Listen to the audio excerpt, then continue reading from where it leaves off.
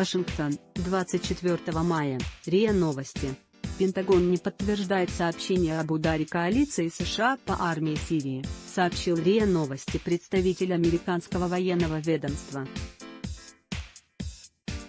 «У нас нет информации, подтверждающей данные сообщения», сказал представитель Пентагона.